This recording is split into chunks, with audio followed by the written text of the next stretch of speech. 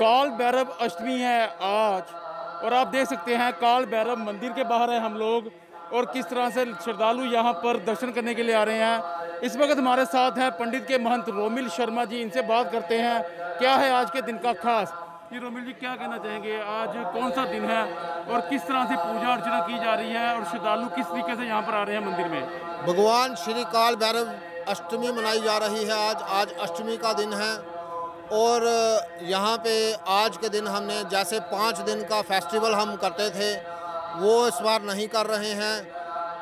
आज के दिन हमने सिर्फ़ पूजा पाठ ही रखा है, जैसे सुबह पाँच बजे मंदिर के कुवाड़ खुल गए थे और उसके बाद नौ बजे तक हमने बावन भैरव जी की पूजा की मंदिर में, उनका दंड पूजन किया और उसके बाद तेरह पंडितों द्वारा आप देख रहे हैं, यहाँ पे तेरह पंडित बैठे हुए ये रुद्र अभिषेक करेंगे, रुद्री का जाप करेंगे।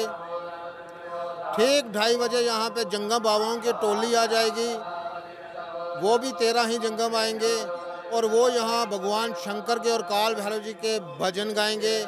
उसके बाद बटुक पूजन होगा। उसके बाद हम ब्राह्मणों को और जंगमों को भोजन करवाएँगे, जो हम अपने घर में ही करवाएँगे।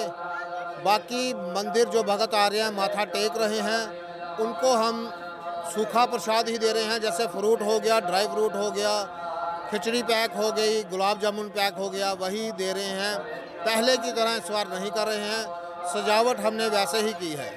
कितनी बरादरियों की मेल यहाँ पर लगती है और जो लोग यहाँ पर आ रहे हैं कोविड के चलते हुए उनको किस तरह की इंस्ट्रक्शन आप लोग यहाँ से दे रहे हैं? आपके माध्यम से क्योंकि सोशल मीडिया हर प्रोग्राम यहाँ पहुँचा रहा है भक्तों के घर घर तक पहुँचा रहा है। जो भक्त घर में घर में हैं वो देख रहे हैं वो घर से भी माथा टेक सकते हैं।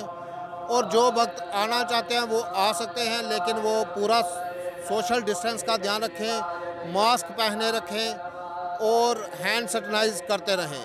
अंत में यही करूँ, कहूँगा कि भगवान श्री काल भैरव जी, आज आप अपने सभी भक्तों को वो आशीर्वाद दें और ये जो आज पूजन किया जा रहा है, पाठ किया जा रहा है, ये इसलिए किया जा रहा है कि कोरोना वायरस का खात्मा जल्द से जल्द हो।